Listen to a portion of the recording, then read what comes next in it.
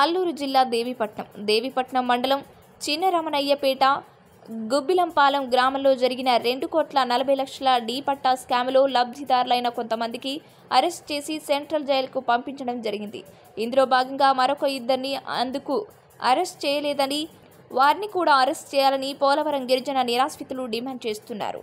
Devipatnam police వారిని వివరణ కోరగా చట్టం ముందు అందరూ సమానమే అని ఈ కేసులో భాగంగా దర్యాప్తు చేసి కొంతమంది నిందితులను అరెస్ట్ చేయడం జరుగుతుందని ఇంకా దర్యాప్తు కొనసాగుతుందని ఈ కేసులో ఎవరిని ఉపేక్షించబోమని వారు తెలియజేశారు.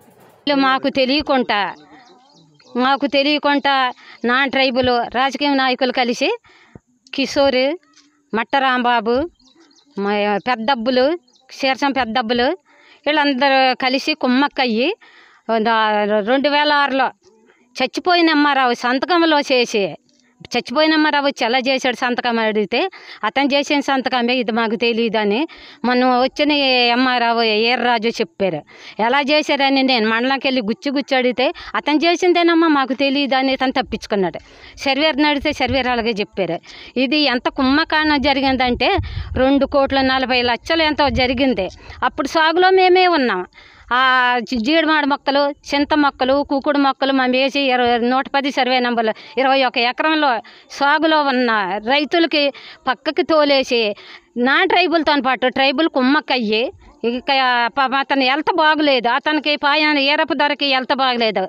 ముళ్ళ మల్లరెడ్డికి హెల్త్ బాగలేదు. అలోటోళ్ళు భూమిని కాజ్ చేసేసి నా ట్రైబుల్ పక్క కుమ్మక్కయ్యి ఎస్టీ వాళ్ళు అందరికీ ఏకమయ్యేలా చేసినందుకు ఇది ఎంతవరకు న్యాయమండి ఐటీడీకి వెళ్ళి కలెక్టర్ని కలిసాం మండలంకి వెళ్ళి ఎంఆర్ఓని కలిస్తే అబ్బాయి ఇదేం కాదమ్మా మాకు తెలియదు మాకు తెలియదు అన్నారు.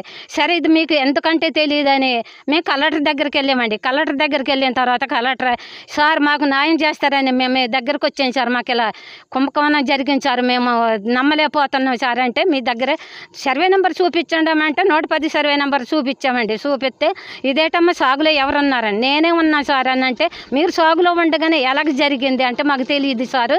ఎంఆర్ఆవు వీళ్ళందరూ కలిసి చేశారు సార్ అని మేమంటే అయితే మీకు తెలియదు అని మాకు తెలియదు సారు అని అంటే అప్పుడు సరే నేను సరే తీసుకుంటాను వాళ్ళ మీద అని కలెక్టర్ గారు చెప్తే మాకు దేమవుతుంది సార్ న్యాయం చేస్తారని అని మండలంకి వెళ్ళాము. అదే ఇది కూడా ఇవే చెప్పాము. ఏం జరిగిందమ్మా? అంటే ఇవి చెప్పినందుకు సరే అమ్మా మేము చూస్తామన్నారు ఇప్పటికి మళ్ళీ పిలుస్తానన్నారు కూడా సిఏ డిఎస్పి కూడా పిలవలేదండి. మమ్మల్ని మరి వీళ్ళు కూడా తినేశారండి. మేత తిన్నారని నాకు డౌట్ వచ్చేసి నేను నమ్మలేపాక ఇవాళ మళ్ళీ వెళ్ళాను నేను. వీళ్ళతో అదే జరిగిందండి. నేను అనుకున్నట్టు నా మనసులో ఏమనుకున్నాను అదే జరిగింది. మేత తినకుండా కొన్న ఇద్దరికి ఎలా బయట వదిలేశారండి? కానీ వాళ్ళు సెంటర్ జైల్లో ఉన్నారు. వీళ్ళిద్దరికి ఎందుకు బయటకు ఉన్నారు? వీళ్ళిద్దరు కూడా సెంటర్ జైల్లో పెట్టాలి కదా. వీళ్ళు ఎందుకు బయటకు వదిలేశారు? అంటే ఉన్నవాళ్ళు బీర్ సీసాలు ఎట్టుకెళ్ళి జీడిమాడి తోటలోని ఈ రాత్రి రాత్రి వీళ్ళు అక్కడ